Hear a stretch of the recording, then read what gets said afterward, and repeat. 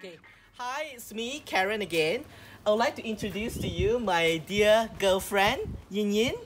Yeah, Yin Yin, I understand that you were originally born in Klang. Yes. Yeah, Port. Klang, right? Mm-hmm. Yeah, Port Klang. And then, you know, being raised in Port Klang, surrounded with seafood, you know, and then now you are residing in Melbourne. What are the dishes that is that brings back the fondest memory to you when you think back about your hometown? Sure, Karen. Well, I'm from Port Klang and uh, obviously it's famous for seafood. I have to eat seafood every weekend, okay?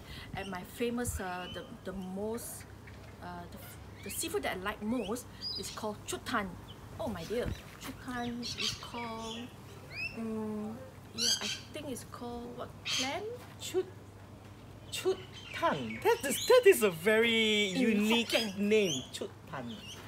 Chut Tan. You mean how got, got bamboo one? Uh, gombe bamboo, long bamboo, and then you got seafood in the bamboo.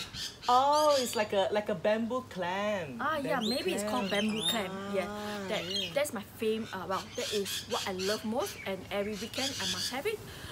Especially when I was pregnant, I must eat chutai and I must eat crab. Uh, so obviously, people say you know if you eat too much crab when you're pregnant, your kids will be like a monkey. But uh, I don't think so.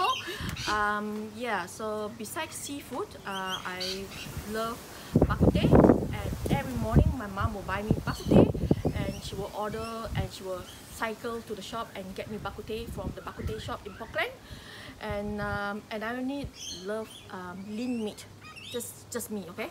And um, also um, I love um, char kway teow. It's really good. Um, the person that char kway teow. very good wok hei. ah. Yes, he did that really, really good. So um, I haven't found one yet here yet, um, but uh, it's really good.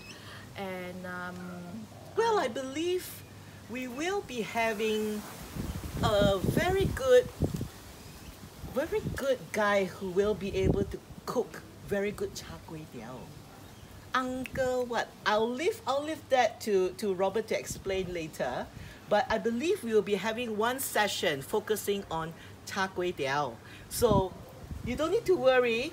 I understand that his wok is very good. So Yin Yin definitely will be with us at the session. So we would like you to also join us for the Wai Sek Kai cooking demonstration, cooking classes right here where we are.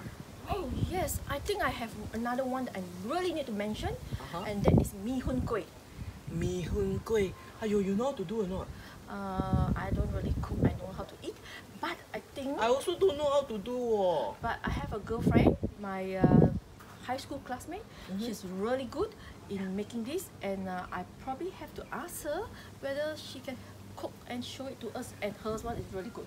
Ayo, we better make sure ah, we invite her to come and teach us at Wai Wai Sek Sek Kai.